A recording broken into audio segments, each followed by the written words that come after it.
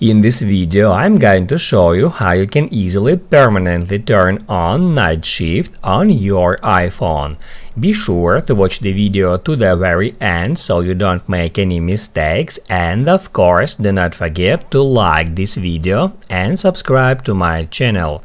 So let's get started and uh, first off head over to settings then tap at display and brightness Swipe up until you find night shift, then just uh, tap on it. And on that step, first off, you can tap uh, at that button next to manual enable until tomorrow and that will immediately turn on night shift on your iPhone.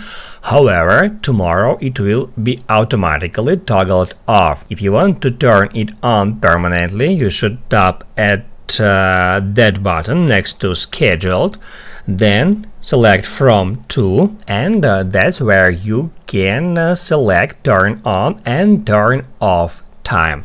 So you can tap at turn on and then set it uh, to midnight and then you can set turn off to 2359. In this case, night shift mode will be active around the clock except one minute.